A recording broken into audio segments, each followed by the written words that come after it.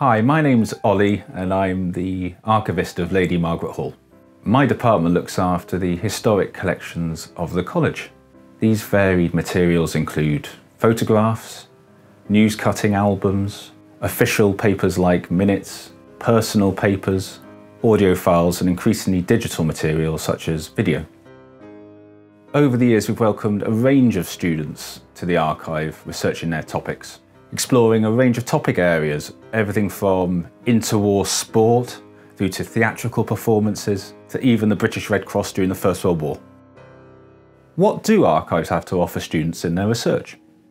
College archives have got a number of things to offer Oxford students. They're wonderful resources very close at hand, invariably well organised and well run, so they're very accessible. I think they offer a good deal of context on a number of prominent individuals, and they can also offer a good deal of colour on particular issues pay very careful attention to people's footnotes and bibliographies in articles and monographs by modern scholars. There are a large number of very good college histories, and also the wonderful multi volume history of Oxford University.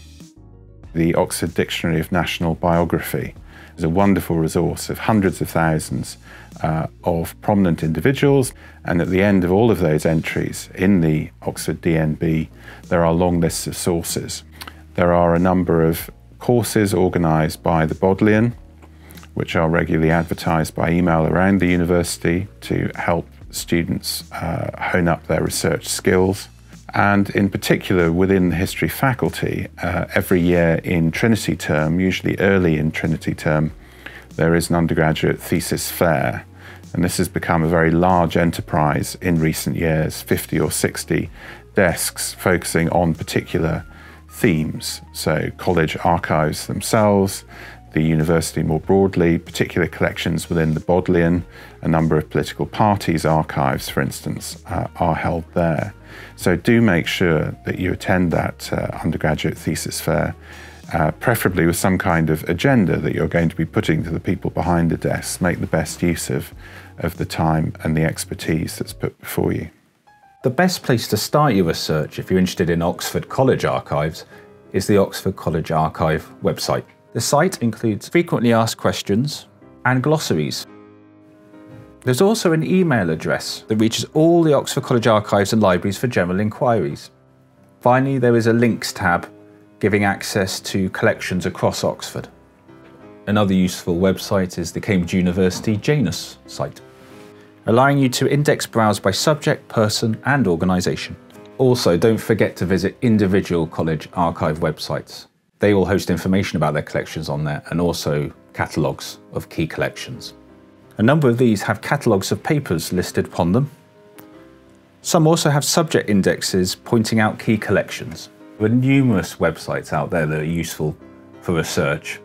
The National Archives Discovery portal contains research guides which are useful and lists popular collections. The Archives Hub also provides guides on how to start archival research for beginners. There are also numerous collections digitising manuscripts, sound archives and film archives, which offer unique resources for your research. Once you've located the material that you want to view at a college archive, the next step is to book an appointment. This is usually done by email it is important to remember that the majority of Oxford College archives work part-time, so make sure you always note the days that the office is open. If you need to cancel, make contact with the archivist in good time. Archivists are always happy to help, so don't hesitate in asking questions during your visit. Do visit the LMH Archive website if you want further details. There's also a section on how to use archives for historical research, and do drop me an email if you want to discuss your research further. All the best.